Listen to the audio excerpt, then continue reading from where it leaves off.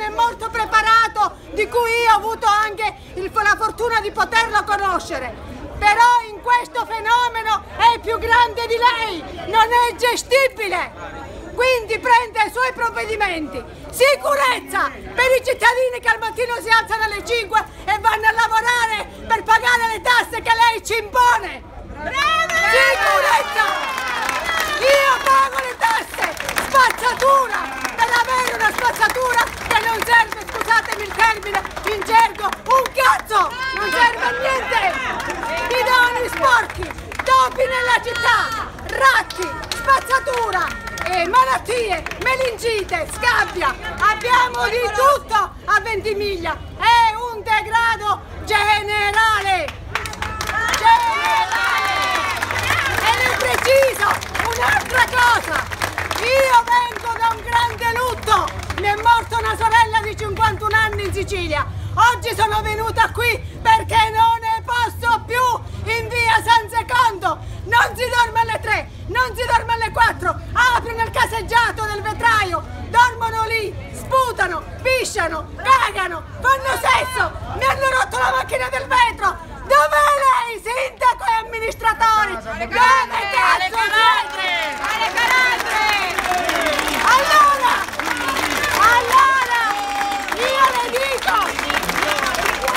io le dico un'altra cosa, ma ho fatto volontariato per due anni alla Caritas, sono tre mesi che non vado, sa perché? Perché mi sento male, sembrano carne da macello sti ragazzi quando vengono a prendersi la bustina per mangiare. Aumenti il personale, sono esseri umani e vanno rispettati come siamo rispettati noi, ma non in questo modo, non in questo modo. Solo per interesse fate questo! La comunità europea dà i soldi per ogni immigrato! 52 euro per gli adulti e 84 euro per i piccoli! Benvengano i ragazzi minorenni, ma devono stare alle nostre regole! Dignità per le nostre donne! Dignità per la nostra religione! Dignità per il nostro culto! Io sono credente ed è un vanto essere cristiana, non musulmana. Ognuno ama Dio propria maniera, ma bisogna avere rispetto anche su questo, non imposizione, non dittatura. Ma di che cosa stiamo parlando? Stiamo parlando di vite umane e non apprezzo una vita umana. Non ci sono soldi per questo. Non ci sono soldi e non mi venite a fare buonismo.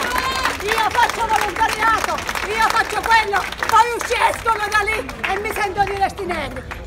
Vergogna! Bisogna pulire le persone, bisogna avere una coscienza quando si fa il lavoro e quando si assumono le proprie, le proprie responsabilità.